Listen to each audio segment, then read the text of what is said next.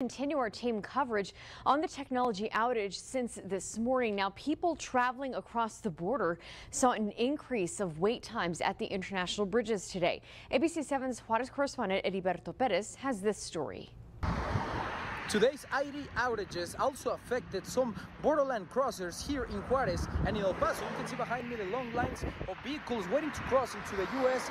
here at the Bridge of the Americas. But this bridge was not the only one impacted by the outages. The Paso del Norte and Ysleta bridges also saw an increase in wait times today. I spoke with some borderland residents who told me they've been here in line for over two hours and they expect to do another two or more. Casi dos horas. Casi dos horas.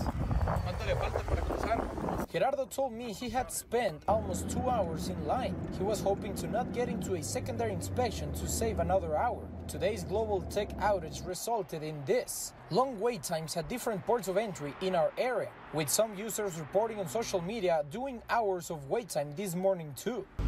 Dos horas. ¿Y cuánto más espera hacer para cruzar?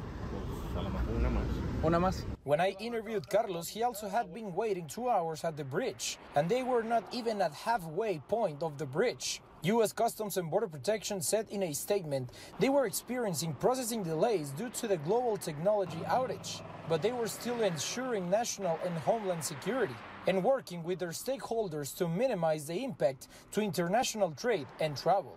In Ciudad Juárez, Heriberto Pérez, ABC 7. Thank you, Heriberto.